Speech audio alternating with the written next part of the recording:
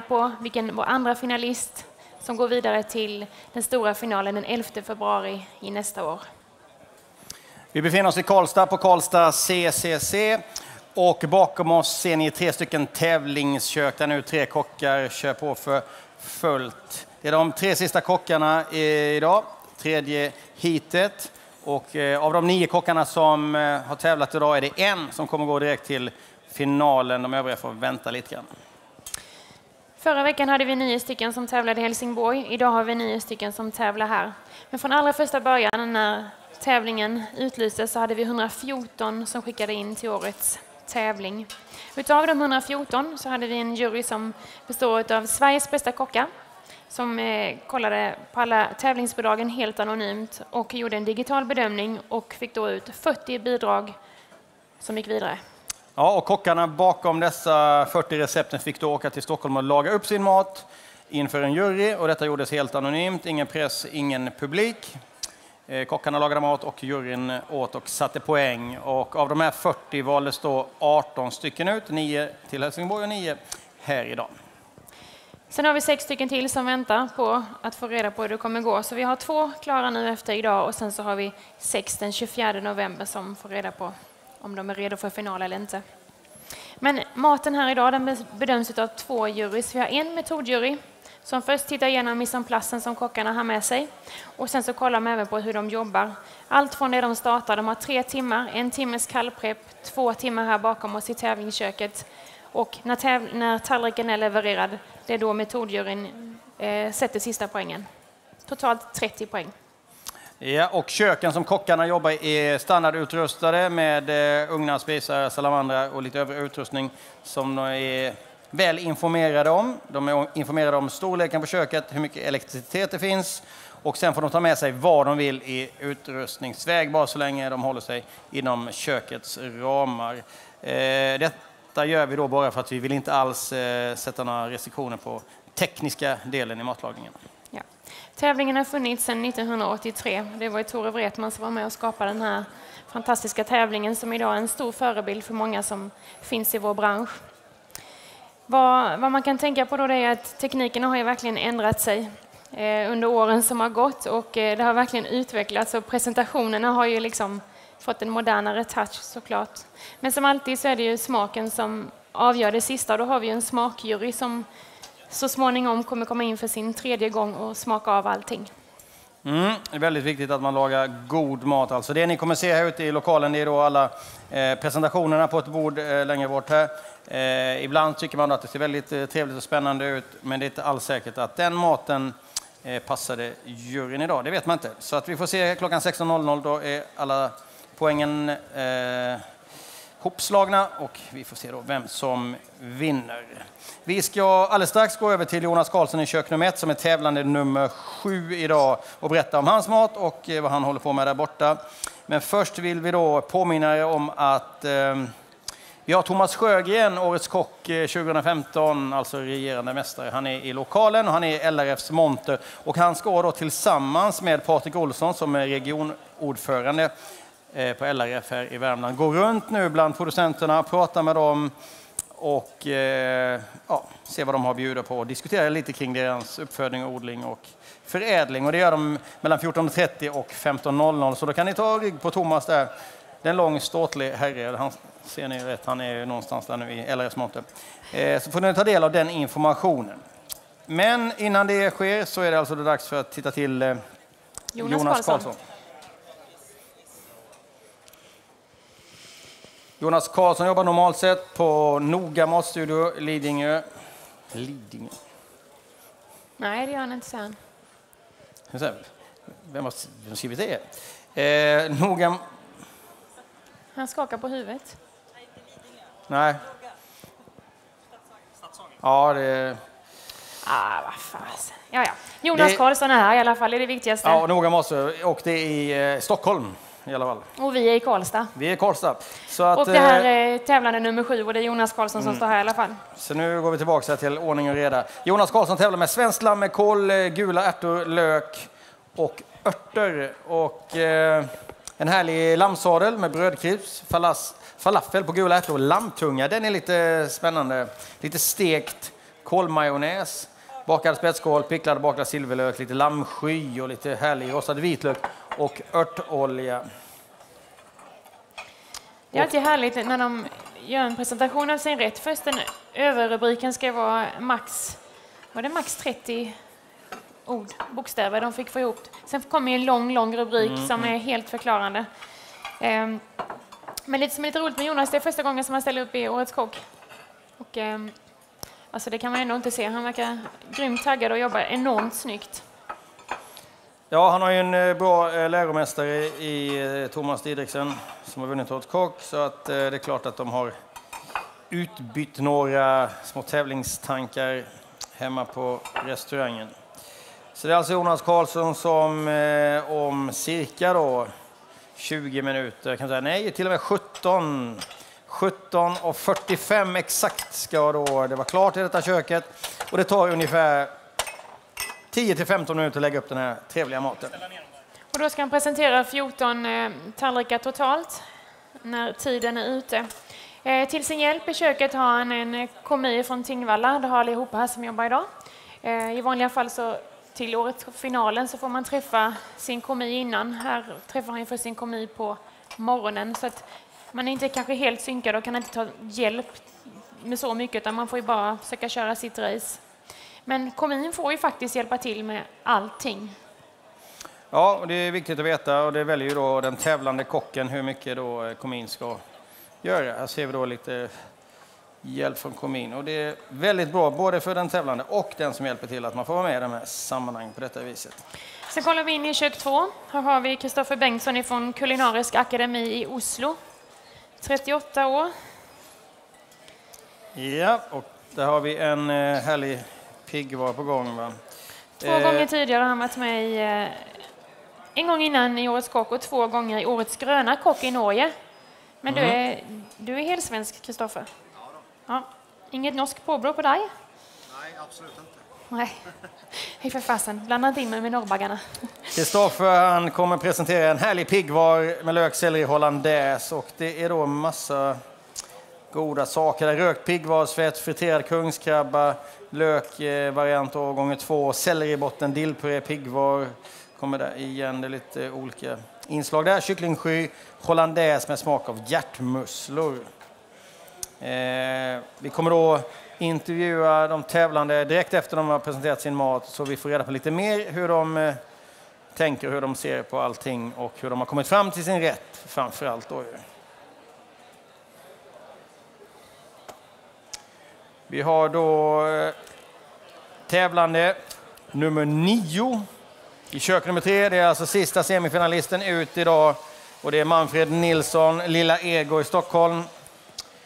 Eh, Lilla Ego har då tre representanter i semifinalerna. Jonathan Kasche gick till final i eh, Helsingborg. Helsingborg. Och Jimmy Eriksson tävlar där nere också och han väntar med spänning på resultat. Och här har vi då den tredje representanten från Lilla Ego.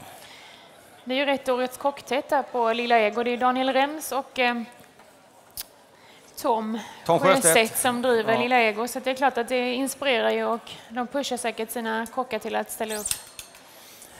Ja, det blir bra coaching givetvis. Ett sånt kök där det har tävlats mycket och många är intresserade av det. Och det gäller ju att få, eh, vilket vi såg i Helsingborg, då, att mat, tävlingsmaten ska då likna givetvis restaurangmat och eh, det vi kallar mer normal mat. För ehm, några år eh, tillbaka sedan så var det ju lite för mycket tävlingsinriktning på maten och lite konstig mat. Nu är det sångsbetonad mat, det är lokala råvaror och det är väldigt greppbart och det är väldigt roligt att se. Manfred tävlar med en härlig pumpa, tupp och säsongens svamp. Det är tredje tuppen idag. Jag skulle säga det är också sista heatet avslutade vi i hit två avslutade vi med kocken pumpa, tupp och svamp. Nu har vi återigen pumpa, tupp och svamp av Manfred. Det tycker jag ska bli intressant. En variation på pumpa serverad som syltad, friterad och kräm. Timjanstekt tupplår och sönderkokt tupp kommer med säsongens svamp, syrlig nakenhavre och mm. tuppsky. Mm. Vi har ju gått igenom de här recepten noggrant. Jag och Marie läser ju alla de här sidorna. Det är ju cirka fyra A4-sidor per eh, recept. Väldigt mycket information, mycket tekniker. Eh, de har bara tre timmar på sig. En timme kallt och två timmar varmt här framme. Men eh, ändå får de in otroligt många moment och eh, tekniker som, som används och det är mycket att fördjupa sig i, vilket är jätteintressant. Och för er som är här idag och kollar på kockarna, så det är helt fantastiskt att se hur, hur drillade de är på att jobba snyggt. Alltså om man kollar tillbaka på, jag då som är lite yngre än Anders, men om man kollar tillbaka på för en tio år sedan när jag var med i Årets Kock, semifinal 06, fortfarande 2000-tal dock, men det har ju hänt väldigt mycket i, i tävlingsköken och hur man jobbar och hur strukturerat det är.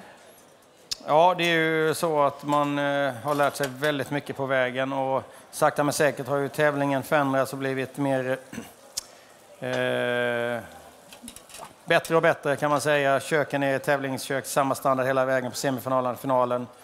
Eh, man lyssnar och lär av varandra och får fram väldigt trevlig mat. Och, och eh, vi har ju då metodjury Ulrika Brydling som tittar på hur det ser ut i köket, vilket är väldigt viktigt. Man kollar på mise och hur det är ordning och reda på bänkar och golv och allting runt omkring. Och eh, det är upp till 30 poäng man kan eh, få för det då.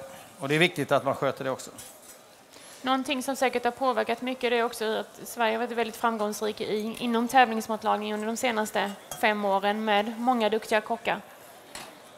Man får liksom inspiration och man ser hur ja. man jobbar och sådär. Definitivt. Och det som vi har pratat om mycket som jag tycker är det viktigaste är att det som kallas tävlingsmat idag är mat som man kan köpa på restaurangen. Så det, det där gappet har minskat och det är väldigt positivt. Ju. Manfred Nilsson är nu i eh, då, eh, sista köket här, kök nummer tre. Har också lite asiatiska inslag. Eh, ponsun, sambal bajak, ingefäran. Spännande, spännande att se för vi har haft några matlagare som väljer den vägen. Det är också härligt att se om man kollar på hur alla som har tävlat de här två semifinalerna, att hur man förädlar eh, råvaran och jobbar med olika texturer och konsistenser på råvaran. Även om det kan vara en tupp eller det kan vara en morot eller en kål så har man verkligen jobbat på olika tillagningssätt för att få fram det bästa ur varje råvara. Det är väldigt kul att få smaka det framför allt. Det blir liksom en happening i munnen och för ögat. Ja, en annan, ett annat typ av tänk vad det gäller matlagning. är mycket rakare, mycket mer kontrollerat. Inte, väldigt sällan är något spretigt eller konstigt utan vissa udda inslag eh, i ingrediensvalet men ändå lyckas de eh, få ihop det till en härlig helhet. Så är det de tre semifinalisterna i sista heatet som kör på för fullt här nu. Vi har alltså då eh, drygt eh, tio minuter innan då eh, Jonas Karlsson i kök 1 ska presentera. Han eh, lägger upp för fullt där nu. Ni ser då alla de här ingredienserna. Cirka 15 till 20 ingredienser per tallrik. Det är väldigt mycket och det tar tid att få fram. Eh, så det är därför de börjar så tidigt. Det är dags för en... Eh, liten intervju. Och det är dags att plocka in vår, en av våra viktigaste närings... Vi får upp Klara, välkommen ifrån Visita. Och sen så har vi Lina och Sandra. Det ska vara lite mickar här. Mikrofon där. Sitter vi en där som ni kan dela på så länge. Välkomna fram! Tack snälla! Eh, Liselott... Eh... Nej, inte Liselott. Klara. Klara, förlåt mig. Jag måste få ett, ja, jag vet, det är vårt manus. Man kan aldrig lita på det framåt eftermiddagen. Vem har skrivit det här manuset? Klara, ursäkta. Eh, vilka är de viktigaste frågorna för vår bransch just nu? Ja, idag när vi är här på Årets kock och vi har fantastiska kockar här i köket så måste vi lyfta det här med kompetensförsörjningsfrågan. Vi i Sverige, vi reser mer, vi är ute och äter mer, men vi får även fler internationella besökare hit till Sverige, vilket är ju fantastiskt kul. Men det gör ju också att vi behöver fler medarbetare. Så det här med att få fler, som idag, kockar att komma till branschen och stanna kvar i branschen är vår viktigaste fråga. Gör ni något speciellt eh, som man kan ta på i den frågan? Att eh, se mm. till att det finns fler kockar? Absolut. Jag skulle, rent krasst kan vi säga att vi jobbar på tre spår. Dels vill vi locka fler ungdomar till den här fantastiska framtidsbransch. Eh, vill informera om, om eh, jobbmöjligheter och så vidare. Sen eh, tycker vi det är viktigt att man fler vägar in i branschen en viktig del i det är att det ska vara lätt och möjligt att ombilda sig. Är du 35 år och IT-tekniker och nyfrälst kock och känner att nej men det är det här jag vill göra. Idag är väldigt små obefintliga möjligheter att kunna ombilda sig. Det tycker vi är jätteviktigt.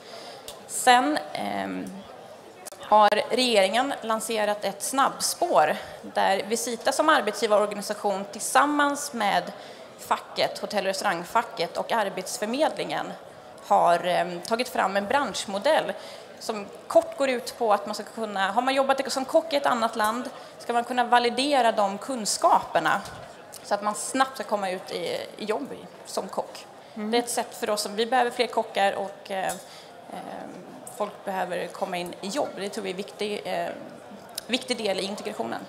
Men hur kan vi, kanske som lite mindre restauratörer eller näringsidkare, vad kan Visita finnas? Liksom, mm. Vad är för hjälp kan vi få av er? Eh, ja, ni, dels, så vi har ju flera ben att stå på. Eh, hos Visita, vi pratar eh, kompetensförsörjningen, eh, så, så Alltså jag måste ju lyfta fram de här tjejerna, ja. för vad jag skulle säga, jag vill vända på det och, och be företagarna att när de här fantastiska eleverna eh, söker sig till praktikplatser eh, så ta hand om dem. Vi måste inse att, att de blir inte bättre än vi gör dem. Praktik, att vara aktiv i köket är otroligt, otroligt viktigt. Så att ge dem en bra upplevelse av branschen och arbetsplatsen och se till att de lär sig, för det är ett lärande på arbetsplatsen. Vi har ju otroligt många elever runt om i landet. Det är många som utbildas varje år. Men samtidigt så ser vi att det är väldigt, väldigt många som lämnar väldigt tätt på utbildningens slut. Mm. Eh, vad ser du för lösning på att, förutom det du nämnde nu, att det måste finnas en lösning på att få dem att stanna kvar i branschen?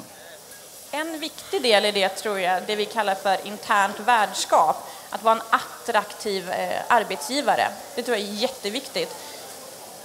Då kan man skapa långsiktighet, kompetensutveckling, och se till att skapa ja, som sagt, en långsiktighet i, i, och det är en trygghet både för de anställda och för företagen att kunna ha en arbetsgivare som man kan arbeta eh, många år med. Det är klart att det skapar trygghet. Mm. Ja, nu har vi både Lina och Sandra från tredje, tredje, ni går i tredje året på Tingvalla och båda två går kock. Jag då, som också är kock och kvinna. Och lite så, ja, det, det blir alltid lite härligt att se tjejer som väljer att bli kockar. För mig så brinner det till lite extra i hjärtat faktiskt. Och jag önskar ju verkligen att ni kan hitta liksom den här passionen som jag gjorde för typ 10, eller kanske 20, 22 år sedan nu. Och att verkligen känna att det här är min framtid. Att jag älskar att laga mat och liksom all den passionen som gastronomi och matlagning har att göra. Men som du Lina, vad, hur kom det sig att du valde att, bli, att välja just restaurangprogrammet och att läsa till kock? Ehm, jag blev bland annat inspirerad av min mamma. Då. För hon jobbar inom mat, så skolkök och grejer. Jag tyckte det såg väldigt roligt ut. Så jag ville också jobba med mat. Vad känner du Sandra? Hade du också någon sån? Eh, ja, jag har alltid tyckt om mat. Äta mat och laga mat. Så när jag gick i nian så visste jag inte riktigt vad jag ville bli. Och då praktiserade jag i ett kök för jag tyckte det var roligt med mat och vart fast. Så jag fortsatte och gick på den här skolan och sökte in. Det är just det här att hitta det här kreativa och att sen liksom ändå kunna kombinera det med sitt liv lite längre fram. Och det är ju precis som du säger, det är vi krögare som behöver liksom få fram en, en bra arbetsmoral för alla unga människor i, i köket som ändå känns okej. Okay. Men det är ändå intressant att veta. Vet ni om, har ni hört talas om den här yrkeshögskolan som gör att man kan vidareutbilda sig? Vad sa du? Yrkes, det finns en yrkeshögskola efter man slutar tredje året som gör att man kan vidareutveckla sig om man vill inom gastronomi. Det är också någonting som man kan tänka på att ta med sig. Ja. Framtidsplanerna, vad händer när ni slutar trean? Ni har haft praktik. Ja. Finns det någonting som brinner lite som det här vill jag gärna göra? Ja, jag skulle kunna tänka mig att jobba i kök eh, där jag kommer ifrån. Om jag får någonting där i närheten. Var kommer du ifrån? Årgäng. Årgäng. Mm. Var ligger det? Tio mil närmare gränsen. Skulle du vilja starta upp något eget här eller finns det någon restauratör som du ser som en inspirationskälla där du skulle kunna utveckla dig? Ja, jag har ju praktiserat på ett ställe i Årjäng då, som jag skulle kunna tänka mig att jobba på om jag får Men jag vill inte öppna eget än. Det är bra. Jobba några år och få lite erfarenhet, så kan skälla lite på chefen först. Så får det bli. Tack för att ni kom hit. Vi måste gå vidare i programmet nu. Det är alldeles snart dags för Jonas Karlsson att lämna. Tack ska ni ha. Lycka till i framtiden tjejer. Jag hoppas jag får se er på ett skock om tio år. Duktiga elever som vi har med oss alltså som hjälper till både och eh, laga mat i köken och eh, servera till juryn. Om bara typ fyra minuter. Inte ens det, du ligger efter tiden idag också. Ja, Tre då, och tio. Då är det världsklockan som går fel. Är det Göteborgsklockan? Eh, då är det Jonas Karlsson, Noga Matstudio Stockholm, 27 år, som skall presentera sin mat. Svenskt lamm med kål, gula ärtor, lök och härliga örter. Ser fantastiskt ut. Och eh, den här rätten då har skickats in till en stor jury på cirka 35 personer som har tittat på denna bilden och receptet. Och bilden som vi har fått ta del av är ju då eh, eh, överensstämmande med det som eh, Jonas nu lägger upp, vilket är väldigt viktigt. Det får alltså då inte bli några större förändringar från inskick till presentation i semifinalen. Sen nu när tiden är på noll för eh, Jonas så har han ytterligare 59 sekunder på sig att färdigställa allting innan allting måste vara framför juryn. Så att man har alltså 59, till god, 59 sekunder till godo kan man säga på det sista här. Och det är väldigt värdefulla sekunder. Som sagt, han har gjort många lägg. Ja, nu kommer den sista såsningen. Det ser ut som lite härlig dill på toppen där. Eller är det fänkålsdill? Fänkålsdill kan det nog Ja, vara. fänkålsdill. Så eh, Jonas har han örtstekt lammsadel med brödkrisp, falafel på gula ärtor och lammtunga, stekt kålmajonnäs, bakad spetskål med picklad och bakad silverlök samt lammsky. Smaksatt med rostad vitlök och örtolja. Har- Ser väldigt gott ut. eh, Och eh, Som, som sagt, han har 11 tallrikar som går till juryn. En får jag och Anders provsmaka och sen så har vi en, två för foto. Och här väljer Jonas också att hälla upp såsen eh, i små kokotter à par just för att juryn ska kunna hälla på såsen framme vid bordet samt att maten håller sig lite varmare. Vi kan inte ha mycket kvar nu. En minut. en minut kvar innan Jonas ska vara klar. Eventuellt då behöver han använda sig av de här 59 sekunderna som han har till godo utöver detta då. Eh, Det känns som att allting är klart, allting är upplagt, eh, sista såsningen. Allting måste vara färdigt innan servisen tar tallriken. Eh, Och han håller tiden gott och väl. Vi går tillbaka till pulpeten och ska nu alldeles strax få smaka Jonas fantastiska mat här då. Det är första Eh. gången som Jonas ställer upp i semifinal Årets kock så att lite pepp tycker jag ni kan ge honom. med det.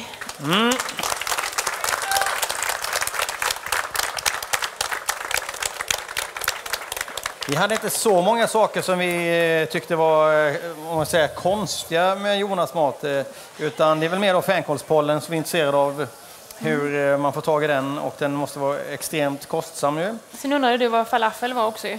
Ja, falafel, vad är det för något spännande? Normalt sett har man ju kikärtor i den då och nu använder då Jonas sig av gula ärtor och i receptet står det lite konstigt att han råmixar dem egentligen. Det vill vi snacka lite med Jonas om, om det blir så. Här har vi då anrättningen. Vi, sådär, vi vänder den mot kameran, något sånt där. Eh, Det är ju så att eh, kocken lägger ju då maten som gästen ska se den och så får vi den också, men bara för att bilden är i lokalen och bilden eh, eh, på streamen ska bli trevlig så vänder vi tallriken mot kameran så här. Här har vi då lite extra sås, alltid uppskattat och här har vi den lilla baljan. Vad har vi i baljan då? Ja, vi får, jag och Marie får alltid analysera lite grann. Vi vet inte alltid vad, vad det är. Just i den baljan verkar det ligga en lammsadel. Där är goa kött. Vi får fråga Jonas lite grann om man kanske ska lägga på. Eller hur man. man... Där kommer han. Du ska in i mitten här. Bra jobbat. En applåd för det. Fantastiskt.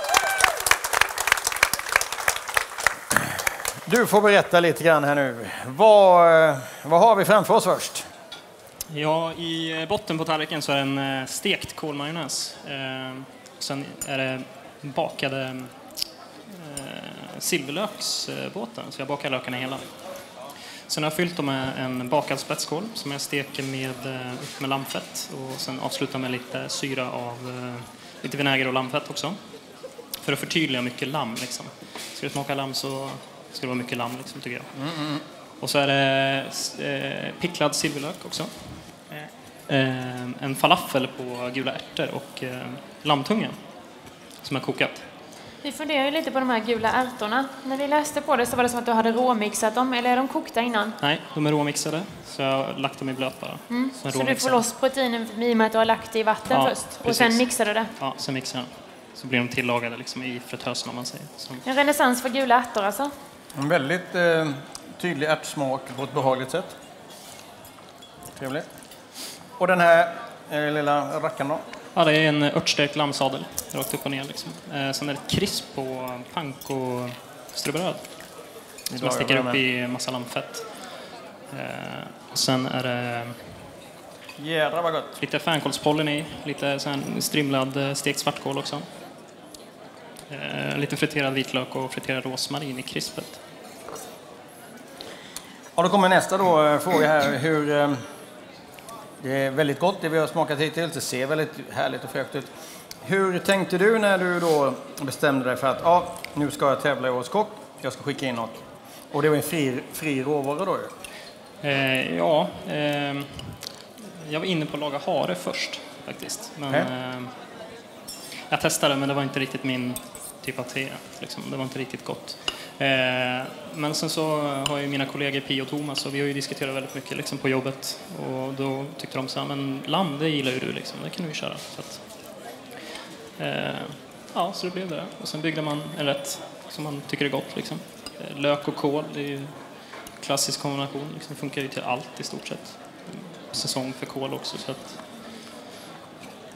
Hade du fårikål som en grundidé? Ehm, ja, det hade jag nog från början. Det hade jag. Lammet, kommer det från något speciellt ställe? Eh, det, är från, eh, det är ett svenskt lamm. Det är från Fällmans kött. Det. är liksom det jag har jobbat mycket med. Så att det, Fantastiskt gott. Det är verkligen supersmarrigt. Kan jag äta hela. Han tar hela portionen. Är det fänkålsdill eller är det vanlig dill? ja, men precis. Alltså följa röda tråden vill jag göra. Köra fänkål och sen liksom ha fänkålsdill till. Hur tillagar du lammet eh, med temperatur och... Eh, tog ut ungefär vid 57. Så får ligga och vila lite. Det är ganska låg temperatur på ugnen så att det är 75 grader. 75 i ugnen och 57 inne. Väldigt bra eh, balans. Det- Falafeln är lite rolig med den smaken, milda smaken. Tungan känner man tydligt.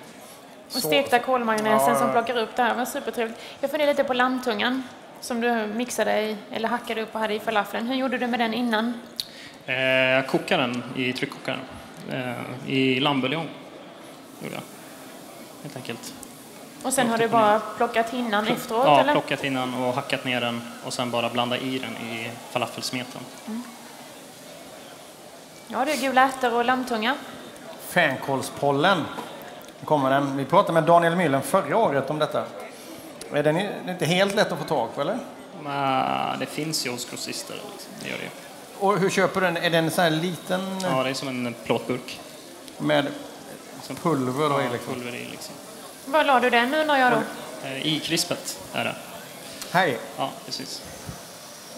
Och den, eh, för vi smakade, kommer jag ihåg, på pulvret förra året och då är det väldigt, väldigt tydlig och kraftig smak på det. Vet du hur man, får, hur man plockar det? Ja, men det är väl... Eh, är det inte blommorna eller? Ja, det måste vara ett jättejobb att få ihop eh, Dyrare det. än guld. Ja, men det är Ja, det är gott. en tydlig smak, väldigt gott. Och det, tar man lite som du har gjort så blir det ju bra balans på det. Eh, jättegott. Eh, tack Jonas. Eh, bra insats idag. Ska vara jättenöjd. Du är närmre nu då eh, själva prisutdelningen än de som var tidigare. Du får inte vänta så länge. 16.00 siktar vi på. Strålande. Tack så mycket. Bra jobbat. En applåd för Jonas. Karlsson. Väldigt god mat. Eh, Spännande att se att eh, det levereras härlig mat hela tiden. Det här var väldigt, väldigt gott. Fantastiskt fint lamm. Mm, Eh. Duktig lammuppfödare märker vi direkt. ju. Och en god falafel. Ja, den lilla rackaren låg där som en liten kula och det var häftigt att han råmixade den och sen att den tillagas eh, efteråt istället istället för att man kör kokta ärtor och mixar det. Eh, Den håller ihop fint och ja, hela kombinationen är fantastiskt skyn. Vilken lammsmak, vilken kraft han får fram där. Just det här med kolmajonnäsen som har gjort det tycker jag var en rolig variant också. Just kål som är en sån oädel grönsak. Att man ändå kan göra något som blir så knalligt, härligt grönt och som smakar så, så gott. Ja, Ja, nu får ni hem och testa hörni. ja. En Han- stekt kolmajonnäs. Han låter den svalna sen och gör en majonnäs av den kololjan. Liksom. Det är riktigt eh, häftig matlagning. Nu har vi knappt åtta minuter kvar till eh, Kristoffer Ja. Bengtsson ska leverera här va? Ja, det är två semifinalister kvar idag här i Karlstad. Vi har Kristoffer Bengtsson som lägger upp för fullt och vi har Manfred Nilsson i kök nummer tre som har lite längre tid kvar. Vi ser att Kristoffer jobbar med eh, värmelampor och man får då som jag nämnde tidigare ta med sig vilken utrustning man vill så länge den ja, klarar av att köras på den strömmen som tillhandahålls i köket. Då. Eh, och eh, i det här fallet jobbar då Kristoffer med värmelampor för att få givetvis maten så varm som möjligt till eh, juryn. Kristoffer har ju tävlat eh, en del innan. Han har skickat in till Årets kock en gång innan och tävlat två gånger i Årets gröna kock i Norge. Han har Mm. även arbetat, arbetat för Stefan Holmström. Ja, han är bosatt i Oslo, uppväxt i Halmstad och då Stefan Holmström som ni såg eh, i Kockarnas kamp var med där och fightades. Eh, Stefan är då skolad hos eh, Leif Mannerström och Christer Svantesson i Göteborg. Sen har Stefan då drivit väldigt många framgångsrika restauranger i Halmstad med omnejd och befinner sig just nu i Falkenbergstrakten. Bra läromästare, Stefan, definitivt. Det Kristoffer tävlar med här idag är piggvar, lök, selleri, hollandaise. Korta, koncisa ord. Han har piggvar som är med rökt piggvarfett, friterad kungskrabba gånger två, selleribotten, dillpuré, piggvar, kycklingsky hollandaise med smak av hjärtmusslor. Det är rena rama norskan för mig detta. Spännande. Den här, jag står och tittar på den här ringen som ligger runt där. Eh, häftigt. Eh, runt själva... Ja, vi får ju försöka analysera och se vad det kan vara. För er som är nytillkomna i lokalen så har Kristoffer, eller allihopa som har tävlat, har en komi som finns med i köket. Och det är första gången de träffar dem, det är ju just idag på morgonen. Och den komin får ju vara med och göra i stort sett vad som helst. Men det är ju inte så lätt när man inte har jobbat ihop innan. Eleverna kommer från Tingvalla gymnasiet här i Karlstad. Här ser man Kristoffer, han har ett litet, som en stansring som är gjord i plast. Eh, som han har ovanpå, är det de här selleribottnarna eller? Det är ju väldigt spännande det garnityret. Det är ju då eh, olika varianter man kan jobba efter då. Det här med eh, väldigt eh, korrekta och stilrena garnityr eller levande garnityr. Här gör ju då Kristoffer en, en eh, blandning av det här väldigt eh, centrerade fina eh, garnityret och så lägger han då lös garnityr runt omkring då så att man får en eh, balans på det. Eh, hur många minuter Ulrika? 4.40. 4.42 har du kvar. Sen lägger ju eh, Kristoffer på en, en ört, en saltört, salicort, eller även passpierre.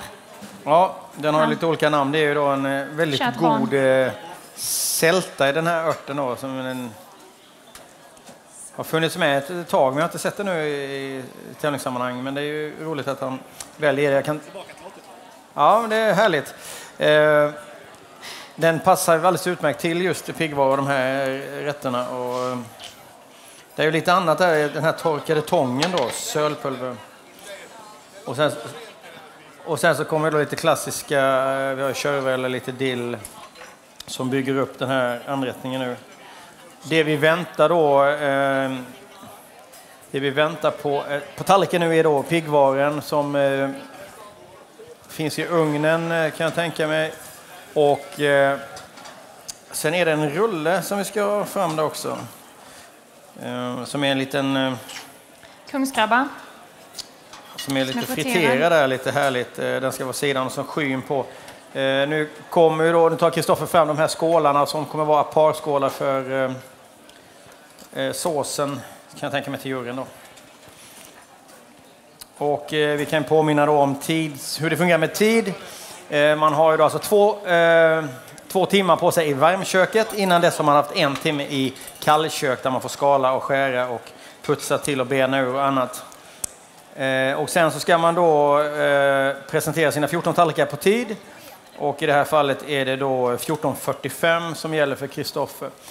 Och lägger man färdigt för tidigt så kommer inte servispersonalen ta maten utan då får den stå kvar i luckan tills klockan är 14.45.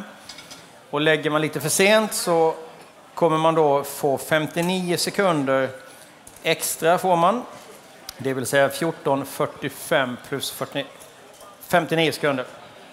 Efter det, då kommer straffet. Då får man minuspoäng och då är det tre, tre poäng minus per domare per minut. Så det drar iväg väldigt fort om man går över. Men det är ingen som har gjort det på semifinalen och det är nog inte troligt heller. De som tävlar är väldigt, väldigt inkörda och pålästa på, på just eh, tajmingen. De har övat på detta. Vi har även en rulle som vi väntar på här som kommer komma på tallriken som är gjord på kungskrabba. Så den har mixats som en färs på kungskrabba, rullat ut den och sen rullat ihop den. Det kommer säkert vara lite små detaljer i den som vi inte riktigt vet nu. Eh, och sen så har han vänt den i, i mjöl och panko, mjöl och sen friterat den och sen skär han den precis eh, innan han lägger den på tallriken. Den ser oerhört spännande ut tycker jag. Ja, definitivt. Eh, man ser på bilden här, eh, vi har ju då samma bild som juryn sitter med. Eh, och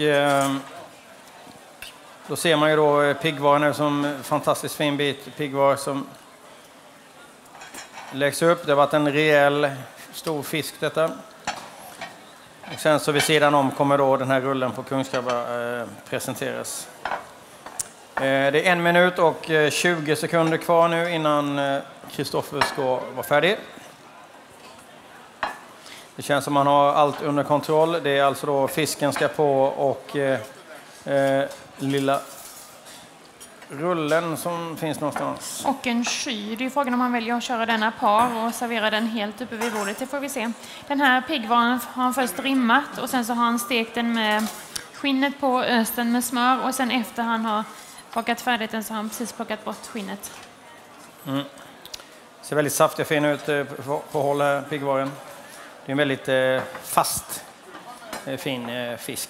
Det blir väldigt spännande smaka. Nu ser vi då Kristoffer skär upp eh, rullarna. Eh, och det han ska göra avslutningsvis det är då att fylla upp de små såsskålarna här som eh, är aparsåsen till juryn. Han behöver alltså få ihop 14 små rullar där nu och eh, Han har 20 sekunder på sig. Sen har han ytterligare 59 sekunder att avsluta sin tallrik och skicka vidare till juryn.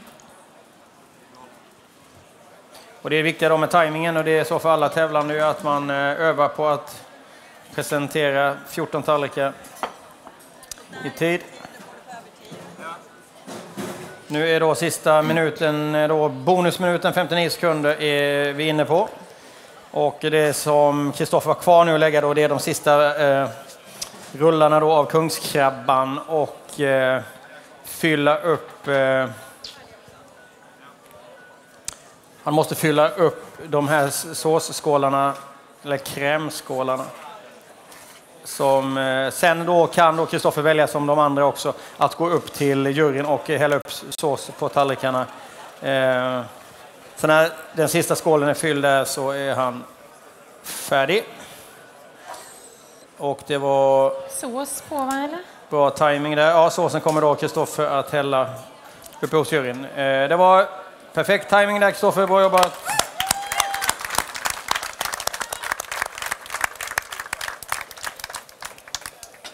De håller oss lite på halsen ibland här med Det är nästan som man står och trampar Ja, lite själv. det är tajt och bra. Så nu har vi då, eh, så vi vänder den också så här. Så Vi ser den bra i bild. Har vi då kungskrabban här, ser vi fantastiskt fin. Den är inrullad där i något. Vi får läsa på lite där i, i receptet. Sen har vi då piggvaren. Den här lilla pucken här. Det är väldigt mycket spännande saker på den här eh, rätten. Det är där förmodligen då karagenan är då i denna för, förmodligen som en konsistensgivare. Kan vara det också. Eh, Den här rullen är är ju gjord som, han har ju mixat kungskrabban och gjort den som en slags mousselinfärs fast med, med kungskrabba. Och sen så har han lagt den på plastfilm enligt, vi får kolla upp han sen. Och sen så har han ju lagt en bit av eh, en led av en, en kungskrabba eller en Ja, klon. rejäl eh, fin bit där. Och sen har han rullat ihop det igen Mm. och satt den liksom ordentligt. Häftigt att se. Ja, väldigt bra. eh, Fräscht och fint. Och nu ser vi då Kristoffer han uppe och såsar hos juryn. Då får de varm och härlig sås till sin mat. Och när han kommer ner till oss här så ska vi bara gå igenom del för del av... De här Uppläggning. lökarna också läser jag mig till och det står att de är jästkokta. Så han har Ja. helt enkelt kokt en, eh, en lag med jäst i och reducerat ner den så den får jättemycket smak Välkommen fram. umami. Bra jobbat. Det ska vara på håret, eller hur? Ja, Ingen mening var, att låta dem vänta. Vi ska ha en mikrofon till Kristoffer där. Där har du den. Varsågod. Härligt. Så, en applåd då. Bra jobbat. Hur känns det? Svettigt. Ja, men, Men det är skönt. Det blir ju det på slutet. Det är ju det är inte så mycket att välja på. Det är ju bättre att, om man nu får uttrycka sig så, det är ju bättre att lägga som vi gjorde, att du lägger ända in tills det, att det, det, de tar den precis som de gjorde, än att du står och väntar i två, tre minuter att det är Det jag, färdiglagt. det gjorde jag i kvartsfinalen. Ja, Det var allt för tidigt. ja, det är inte så bra. Det var kallt. Ja, det blir lite svalare då. Men så att jag det, kommer vidare. Så. ja, så det här var ju väldigt bra. Vill du att man slår på den på Du sidan? får göra precis som du vill. Ja, vi häller på här. Det är gott med lite hollandaise. Ja, det är ju fantastiskt. Berätta nu, eh, du kan först berätta lite grann om eh, rätten, som, hur den är. Och sen så får du gärna berätta då Hur du eh, tänkte. hur du tänkte när du skapade. Eh, Piggvaran har jag stekt eh, i hela filéer med skinn på. Ganska hårt. Bakat ganska låg temperatur och dragit av skinnet så bara sköt upp dem. Sen har vi en liten krabba där. En liten rulle. Eh, där har kokt krabban ganska hårt och pressat ut allt vatten. Sen gjort en färs på krabbresterna Ja. eh, och ångat dem igen. Och sen dubbelpanerat. Har du något bindningsmedel i fassen när du har mixat en grädde eller Nej, bara äggvita? lite grädde. Eh, och salt och citron. då. Väldigt tydlig krabbsmak. Alltså. Det är häftigt. Och sen har vi ju ja, lite lökar då. Det är ju timjansyltade lökar, de röda. Det var någon som var vasslekokt också va? Nej, Eller de, öl, ölkokt, förlåt. öl, det är de gula. Kokt dem i eh, en lökbuljong som är smaksatt med jäst. Just. Och sen efter ölvinäger till. Men det är vanlig jäst du tar i då Ja, i jag buljongen? steker jästen Okej, i okej. en sån 6-7 minuter eller något. Bryner den lite. Och sen slå på en lökbuljong där och koka ner. Det här gröna, vad är det då? Det är dillpuré med lite spenat då för att få upp färgen lite. Och sen är det en selleripuré och så en timbal med selleri, eller botten. Den här timbalen har du satt med något speciellt va? Hade du inte någon stärkelse i den? Jo, eh, Carayen, Ja. och, eller Universal 20 då, som, och eh, agar agar. För att kunna värmebehandla den sen. Den är Så- perfekt i konsistensen. Den, är ju, den håller ihop och den är väldigt snygg och sen så ändå smälter den ju perfekt i munnen. Så där har man ju ja, ett lägg mindre i alla fall. När man lägger lite saker uppe på. Det var väldigt smart att ha den eh, plastringen där, den var snygg. Det är smart när man ska lägga och det är enkelt att hålla den perfekt. Hur, berätta om tillagningen på äh, piggvaren, temperaturer och... Seka för att det är 5 grader Ja. eh, på 70 grader i ugnen. Så det går ganska sakta. Den är ju perfekt, men eh, du vet hur man diskuterar nu för tiden med lågtempa på fisken. Då. Det är ju så här, eh, jag tycker det här är fantastiskt bra tillagat. Ju. Eh, Det är bättre med lite för lite än för mycket. ja, jag gillar det. Den är ju väldigt glansig, fin och supersaftig och smaken behålls då ju, liksom den kraftiga fisksmaken. För den kör du den lite för hårt så försvinner den lite grann och då blir det lite överhand och annat. Vad hade Men vi där? Det är piggvarfett som jag, ste- eller som jag stekt då. Och lättrökt innan. Just det. Bara för att få lite crunch in i rätten. Ja, du skapar ett djup också med den här rökta tonen. Vi ser ju idag väldigt många olika typer av matlagning. Eh, olika ingredienser då. Tuppen är, finns med på tre ställen och vi har en blodduva och lite spett och så. Eh, du har valt piggvar och det är ju en, och kungskrabba. Det är lite man kallar det då mer ädelprodukter i sammanhanget. Eh, hur resonerade du när du bestämde dig för att nu ska jag tävla i Årets Kock? Eh, Jag hade lust att köra fisk Mm. och då är ju piggvar det godaste. Så då tog jag piggvar och sen, ja vad ska jag till det? Krabba är gott. Mm. Så körde jag på krabban och sen kom löken och sellerin kom in på ett bananskal där. Rullen, har du gjort den många gånger innan? Ett par, men eh, man behöver egentligen lite mer tid på sig om det ska bli helt sån perfekt tight. Ja, det är otroligt att se då på de här tre timmarna att man får fram eh, ja, den här typen av mat med den höga kvaliteten. Det viktiga är Eh. liksom att pressa ut all vätska ur den så den blir helt torr. Då. Helt torr. Ja, den var otroligt god och eh, piggvarn är ju perfekt eh, tillagad. Det, här potat- det var det vi pratade om, potatispurépulver. Ja. Jag köper sån eh, Pulvermos. Pulvermos. Vi pratade om det. Så, men det är så här, pulvermos? Jag sa, det måste vara pulvermos han menar. Nej, det är inte klokt, sa Anders. Det, det är, jag använder det som bindningsmedel i eh, dillpurén. För när det blir varmt, det pulvret, så blir du tjockare automatiskt. Så det är en Men- typ av stärkelse. Ja. Men just att du kommer på att du ska använda potatispulver. Purépulver. Ja, men det är, tur att, det är tur att man jobbar med kreativa folk. Ja. Men var någonstans har du det med i... I dill. I dill. Där. Men man märker inte det riktigt. Alltså man känner ju inte av det. Det är bara för, Den smakar inte pulvermos alls. nej. Det är bara för att göra den lite tjockare. Ja, lite pulvermos. Nej. Nej, mycket dill Skulle smakar haft en kod till då. Kål med bröd. ja. Ja, jättegott. Ja, eh, supertrevligt, Kristoffer. Härligt. Bra matlagning, perfekt eh, tajmat och eh, nu är det upp till eh, det där Juryn. gänget som sitter Ja. där. Kan man muta dem? Nej. Ja, då. Du får, du får försöka Ja, nu. Bra Kristoffer, bra jobbat.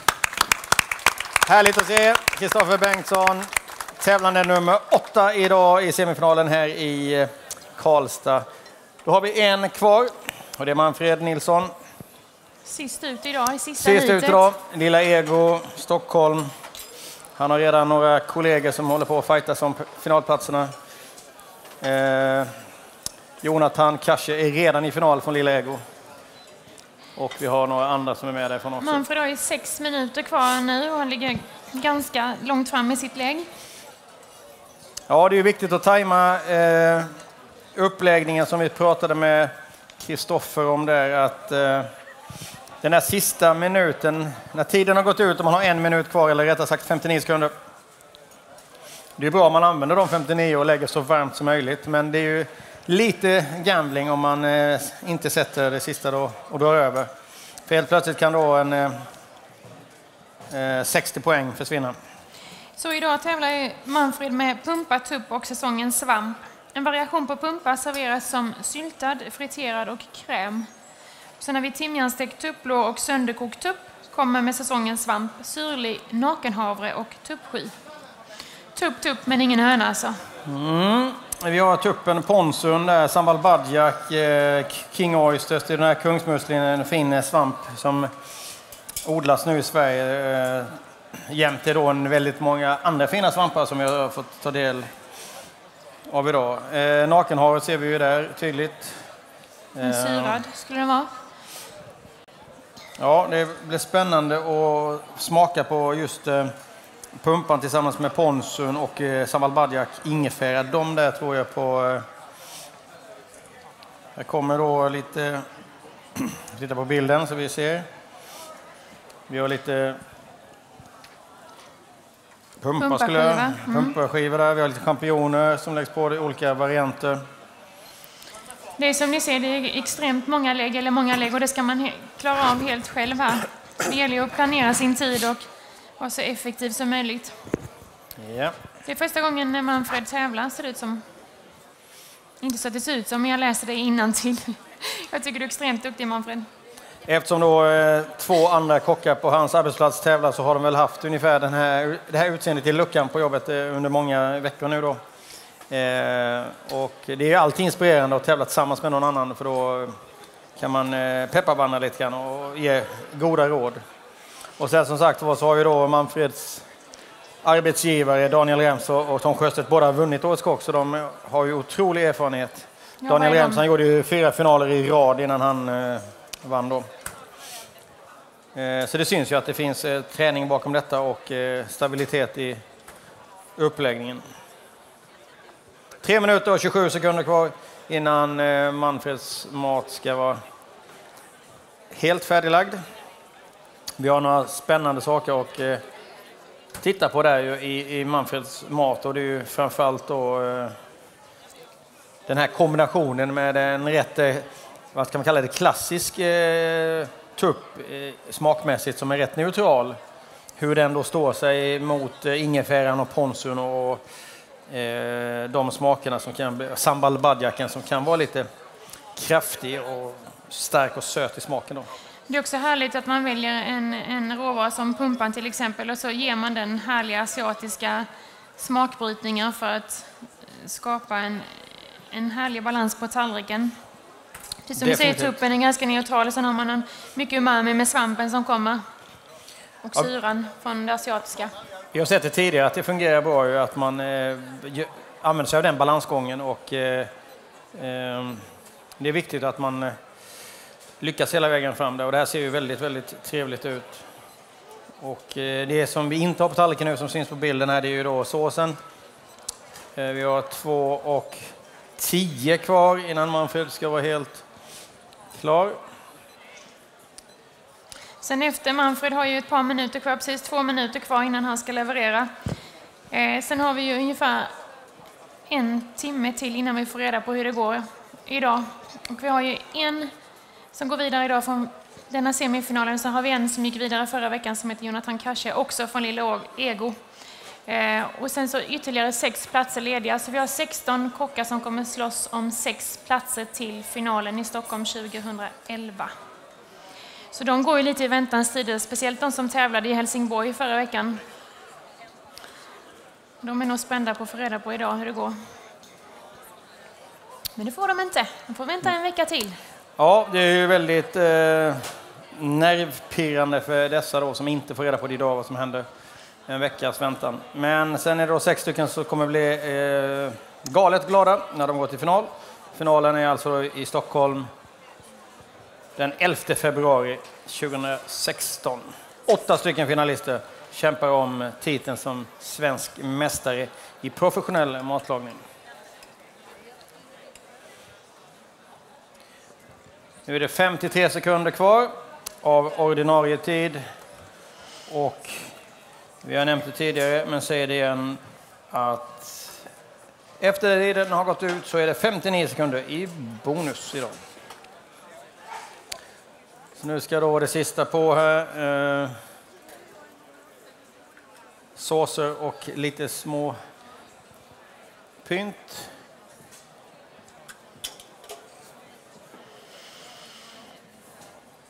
Inte bra, det har strulat till sig lite grann där. Nu löste sig med termosen. En liten peppande applåd. Det är sista tävlanden för Kom igen nu idag. Manfred!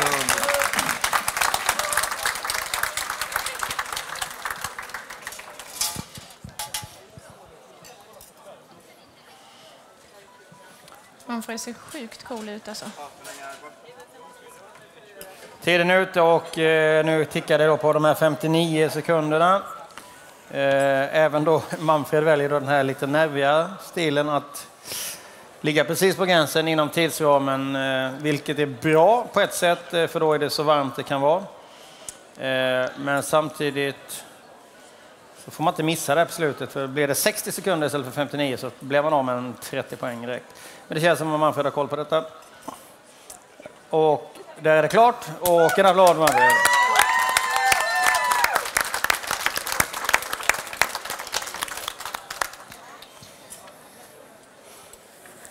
Det var alltså sista köket, sista maträtten. Vänder vi på den så till er. Sista maträtten på semifinalerna i Årets Kock 2016.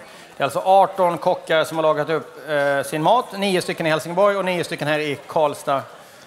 En person En kock, Jonathan Kasche, gick vidare från Helsingborg direkt till finalen och klockan 16.00 här i Karlstad får vi reda på då vem som går vidare direkt härifrån. Det är alltså en kock som gör det. Övriga åtta kockar idag får då vänta och förlita sig på poängen då de har skrapat ihop idag. Då gäller det alltså att ha högst poäng av alla de här eh, 16 kockarna som finns nu som så kallade tvåor. Det gäller att vara topp 6 för att man ska gå vidare. Så det blir lite komplicerat här på slutet, men eh, så är vägen till final. Manfred är uppe och såsar hos juryn, så de får ännu mer sås och härligt gott. Och vi eh, ska alldeles Vi kikar in lite tycker jag. Ja, vi kan lyfta, pumpa kan lyfta lite här. Pumpan och så har vi den här fina eh, champinjonen då. Det är en lättbakad champinjon också, ska finnas här någonstans. Det är den. Nakenhaven har vi där. Eh, lite svampar. Eh, lite tupp. Eh, fråga varför om det är samma tuppart som eh, Hedemoratuppen. Hedemoratuppen, om den kommer tillbaks tredje gången. Jag ser inga hönor, bara tuppar här idag. Indirekt. Så du äter här nu innan? Du, Marie Nej, det har vi gjort hela tiden kommer innan. Manfred. Nu ska vi vänta. Ja, en applåd Manfred, bra jobbat. Så, du ska få en mikrofon som ligger här. Jag blev så sugen så jag kunde inte vänta Manfred. Nu fick jag skit av Anders för det vet du. Ja, Ja, man, måste vänta, man måste vänta på såsen. Liksom. ja det är viktigt. Det är så, viktigt. eh, nu har då Marie förstört den här fullkomligt Ja, här. det är innan vi, perfekt. ja, så att, eh, nu är det som det är. Ja. Men eh, berätta, vad har vi framför oss? Här har vi då eh, variation av pumpa. Ja. Eh, då formar vi en kräm, en picklad, Det är den här som är krämen. ja, en picklad och en friterad. Eh, tupplår, timjanstekt från eh, Tokkafarmen. Eh, champinjon fylld med sönderkokt tupp. Ah, Låret eller? Ja, tupp. precis. Det var tupp i den här. Vad fint. Också. En bra drag i den. Vad har du i den som gör att det blir sånt drag? Sambal, Sambal bajak. badjak, lite champagnevinäger, salt. Ja, lite ponzu, marinerade king eh, oystersvamp. Och lite svart eh, trattkantarell och eh, trumpet. Det är den där som är king också. Ja. Vilket härligt möte det blir liksom. Tänk er farmors syltade pumpa liksom och en sönderkokt tupp om vi tänker så, hennes höna som hon Ja. sätter fram på söndagsmiddagen. Och sen så gör du det här så här helt fantastiskt och skapar den här asiatiska influensen som gör att man det bara sjunger till i munnen på en. ja, det är det som är meningen. Väldigt gott. Riktigt gott. Mm, jag har, jag har ätit för mycket. Hur, eh, hur kom du fram till det här då? Nej, men tupp är ju alltid en, en trevlig råvara att jobba med. Och, och vi, när man sätter sig och skriver oftast en rätt så utgår man ju från grönsaken. Det, det gör jag i alla fall. Eh, pumpa, ingefära, fantastiskt gott. Eh, lite soja eller ponzuaktigt ihop är ju fantastiskt. Och tuppen var det som kändes passade bäst, helt enkelt. Är det någon speciell tupp? Eh, Tokkafarmen. Skåne. Skåne. Bra råvaror. Ehm, Det är lite intressant detta för, för eh, Jonathan som gick till final ehm, förra veckan då från Helsingborg. Han jobbar ju på Lilla Ego och det gör ju du också. Ja. Han kommer ju från Farang, eh, har lite asiatiskt med sig därifrån och eh, jobbar nu med eh, den stilen som finns på Lilla Ego som är lite mer, eh, vad ska man säga, ja, kraftfull mat med, med tydliga tycker jag, smaker och eh, eh, rejält och härligt. Eh, du har ju lite samma tänk känns det som eh, Jonathan med det här. Det är väldigt bra grundsmaker och tydlighet i, i stora delar av rätten. Sen så har du de asiatiska inslagen som smyger sig på som är väldigt angenäma då. Är det något ni har pr- pratat om? Nej, eller? det har vi det faktiskt Lilla inte. Egoskolan? Nej, det är inte. Ja, och Tom har ju alltid lite ingefära i bakfickan. Nej, men eh, min flickvän faktiskt eh, jobbar på eh, råkultur innan. Eh, nu är hon på NOK, men eh, vi lagar mycket asiatisk mat hemma. Och därav så är det mycket ponzu och eh, mycket ingefära, chili. Så det är Det är en härlig mycket smakbrytare. därifrån det har kommit. Jo, för det är det vi har pratat om det när vi var i Helsingborg och även hela dagen idag. Att Det är väldigt eh, intressant den kombinationen, eh, de två köken som möts. Det här, Om man kallar det nästan då lite mer klassiska, tydliga, eh, kraftiga köket med de asiatiska smakerna som både då sticker ut och lättar upp på ett sätt. Eh, och det är roligt att både du och Jonathan jobbar på, på det sättet. Det här låret, vad hade du kokt in i det? Hade du något extra fett där? Eller det, var... Ja, det är mycket brynt smör i. det gillar vi också. Det gillar man ju. Eh, och... eh, ja, Men eh, själva eh, tuppen här, hur, berätta hur du gjorde med den. Lå, det här är bröstet då ju. Du har ju valt att ha skinnet kvar. Ja, precis. Skinnet är oftast Alla det andra har ju bästa. valt att stycka bort det, eller tagit bort det, dragit bort det under dagen. Jag äter lite till här. Jag är hungrig så. Jag tycker mycket smak sitter i skinnet och det finns ju mycket fett och det är smak i fett. Så att Absolut. det... Den är rätt liten i den här tuppen. Förlåt? Är den liten? Alltså, Ja, den är ju större så jag använder ju den finare delen till att, att steka upp och resten går i den sönderkokta. De flesta tupparna från Tågafram brukar ligga runt 4-4,5 kilo. Ja, ungefär. Och de som får åka till Stockholm kanske väger lite mindre. Ja, Businessklass till Stockholm. precis. eh, Du, nakenhavre funderade jag också på. Mm. Är det någonting, hur har du kommit i kontakt med det? Alltså nakenhavret, jag började tänka bovete och sen så kom jag över nakenhavret och det kändes som att det saknades den texturen som den kan ge och det tyckte att den passade bra. Jo. mm, Manfred, en härligt balanserad tävlingsrätt. Eh, supergott. Tack så hjärtligt. Juryn drar nu, ser du det? Nu, spännande. Nu är de, nu är de färdigdömda. Ett stort tack, eh, supertrevligt. Lycka till nu. Tack så 45 mycket. minuter kvar. Bra jobbat. Det var alltså sista tävlan idag. Manfred Nilsson, kök nummer tre, tävlande nummer nio. Nio stycken semifinalister har lagat mat till juryn som ni ser bakom oss nu går upp i juryrummet och överlägger. De ska sammanställa väldigt många resultat. Alla resultaten härifrån idag för, för att få fram en vinnare idag som går till Stockholmsfinalen. Sen ska de sammanställa alla tvåorna för att få fram sex stycken ytterligare finalister. Som presenteras den 24 november på Årets Mm. Kocks hemsida. Så juryn har några timmar på sig där uppe nu, men efter bara nu då eh, cirka 50 minuter så kommer de komma ner och Fredrik Eriksson, juryns ordförande, kommer tala om för oss alla vem som har vunnit idag. Vi har ju en eh, tjej som har jobbat sedan tidig morse här bakom oss. Ja, Och det är Ulrika Brydling som står bakom metodjuryn här idag. Och vi tänkte ta ett snack med henne och fråga hur det har egentligen gått till här idag. Hej Ulrika! här kommer Ulrika. Välkommen fram. En liten mikrofon där. Ja, hej. Hej! Hur har ni det? Vi har det jättebra. Det har varit en lång dag. Från klockan halv sju i morse. Det har ju du också haft. Ja. Eh, vi tycker ju då att det har varit otroligt hög nivå idag. Fantastiskt bra mat. Trevligt att se. Duktiga kockar. Härliga smaker, bra tillagningstekniker. Ja, jag, jag är jättenöjd med dagen. Nej, jag, jag kan bara instämma. Det har liksom varit från starten i morse. Hur de verkligen har skött sig med sin mise. Allting har ju varit preussiskt, snyggt. Eh, Det är sån ordning och reda, lugnt Ja, fantastiskt. och väldigt lite frågor. Ja, det är bra. För tittarna nu och besökarna, Ulrika, du kan väl bara berätta kort då eh, vad metodjuryn gör? Hur fungerar det? Vad Mm. tittar man på?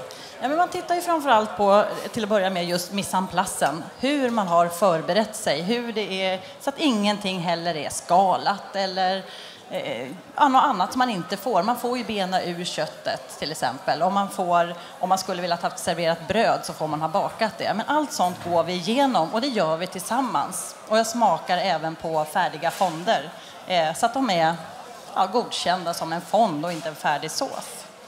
Och när det är gjort så startar man igång dem tillsammans med Lena här bakom för att tiden ska bli korrekt. Och sen så tittar man hur de jobbar, vad de har för hygien och vilket handlag de har. Och det är ju en fröjd sådana här dagar. Ja, de är duktiga. De har ju, man ser ju de har drillats väl av sina ja, kollegor och chefer och de som har coachat dem. Det är otroligt häftigt att se. Alla är på tid. Några ligger där mellan den här sista minuten. Eh, Ja, jag håller med dig. Det är verkligen en fröjd. Precis, så jag går ju hela tiden under tiden de tävlar också och berättar tider för dem. Och där är det väldigt olika. En del vill ha väldigt lite tid, kanske bara ja, en, nu är det en timme kvar, nu är det en halvtimme. Medan andra vill ha så här, säg till när det är en timme och 18 minuter. För då har man liksom ställt in ja, sin träning på vissa tider. Och det här är ju jätteintressant och då, det, då märker man att man har tränat Tävlings- ja. och verkligen tävlingsinstinkten. Vi har ju sett i köken här liksom, under de här två semifinalerna som har varit att nästan alla har ju haft sin tävlingsrätt uppsatt och man har liksom doj, doj, doj, doj, doj, alla punkter. Man vet exakt när, vad man ska göra och vilken tidpunkt. Men även om de är så organiserade, ordning och reda, så någonting måste väl ha hänt under dagen som är lite spännande.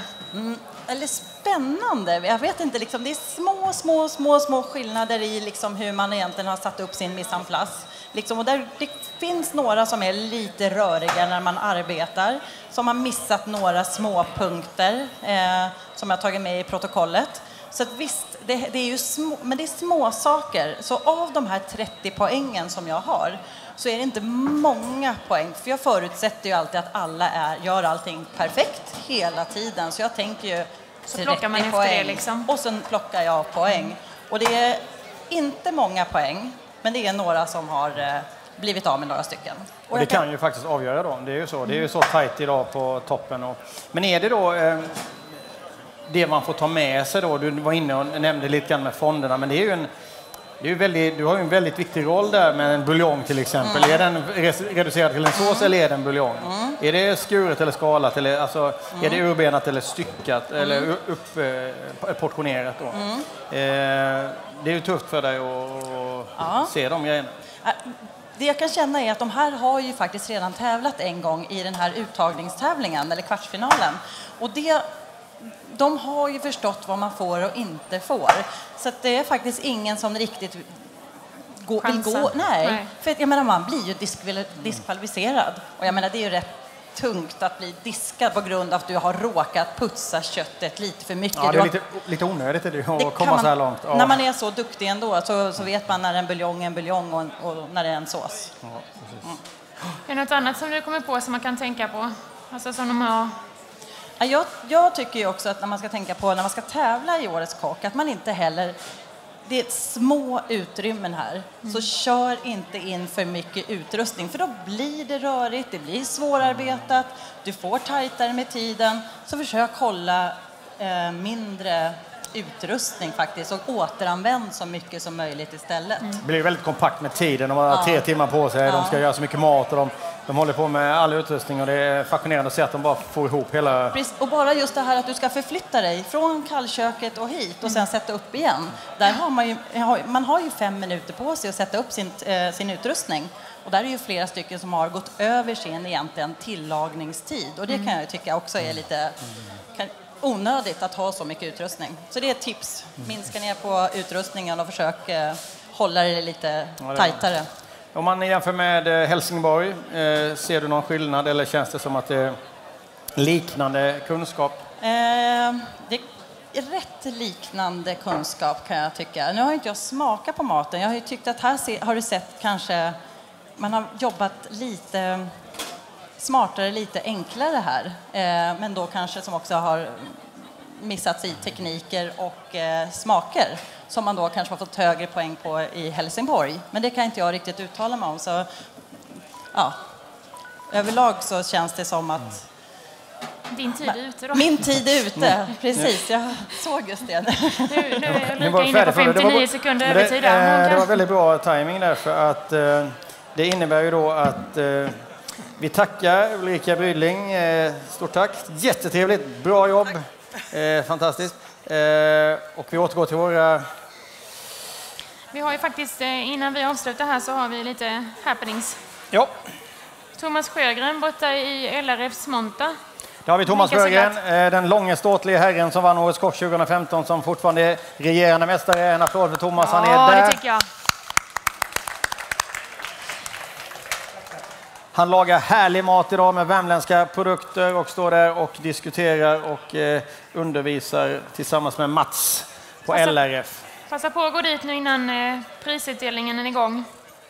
Ja, Eh, besök LRFs monter och säg hej till Thomas. Nu har vi ungefär 45 minuter kvar till, ehm, Prisutdelningen. till prisutdelningen. Och juryn har ju gått upp i juryrummet. De diskuterar säkert för fullt vem som kommer gå vidare idag. Mm. Det är alltid lika spännande. De har varit fantastiskt duktiga.